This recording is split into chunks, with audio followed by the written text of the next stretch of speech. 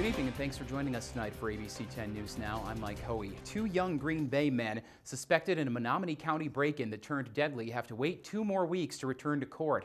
20-year-old Thomas Hartman and 19-year-old Matthew Frangiosi are both charged with first-degree home invasion. They were scheduled to have a district court preliminary exam this afternoon.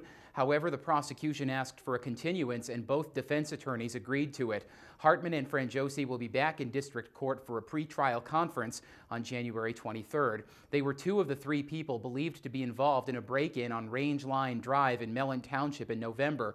Police found a third suspect, 19-year-old Hayden Gagnon of Pulaski, Wisconsin, dead in the home. The unidentified homeowner shot him. A Marquette